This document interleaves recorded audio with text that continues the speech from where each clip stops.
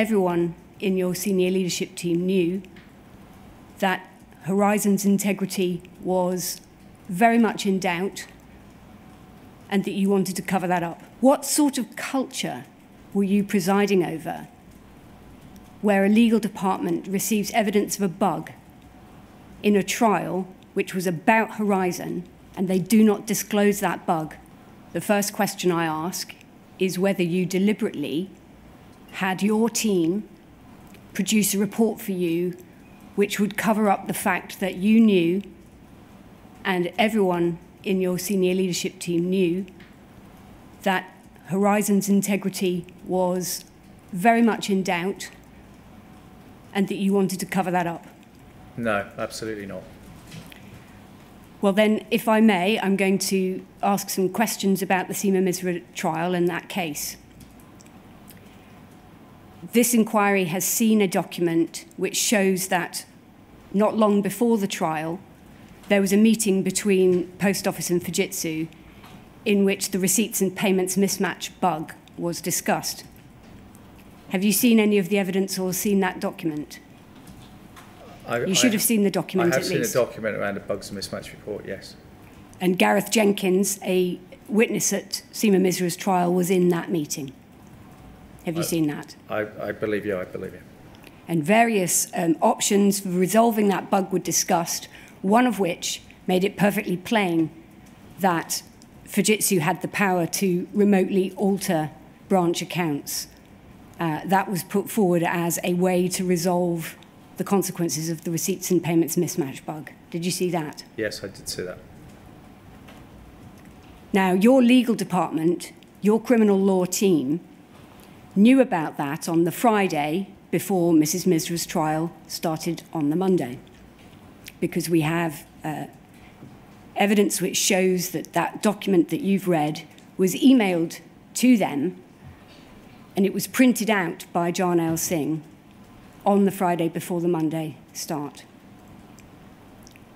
What sort of culture were you presiding over where a legal department receives evidence of a bug in a trial which was about Horizon and they do not disclose that bug? What sort of culture were you presiding over? Firstly, to say that um, the only reason that I know about the bug and mismatch report is because it was presented to me in the bundles that I've seen. Um, so at the time I was unaware. It's also fair to say that it was not pulled out in the ISMAY report um, as one of the Horizon um, bugs. The others were listed, but it was not. So I was not aware of it. And I did not know until you have just told me uh, that Mr. Jarnail had the information that you have laid out at the time that he had it. Uh, in terms of the culture of the organisation, uh, I'm shocked and frankly appalled if that is in fact the sequence of events. Um, and I didn't know about it. Well, one of the points that was made in the ISMAY report was that there were no back doors into Horizon accounts. That's right, isn't it? Yes, Did you know about the fact that your staff, a little bit after the report was finished, sent emails to one another, including to Rod Ismay, in which they said that they knew about the back doors. They knew about the back doors because of that meeting about the receipts and payments mismatch bug. Did you know that? no, I didn't know any of this. Nevertheless, during the trial, as we've seen, uh, because of your response to the famous bandwagon email, you were keeping an eye on that trial, weren't you? only in overview terms. I didn't know anything about the detail of the case. Well, uh, let's bring it up again. It won't take long. This is the last um, thing we need to look at. Uh, poll 0016 9170.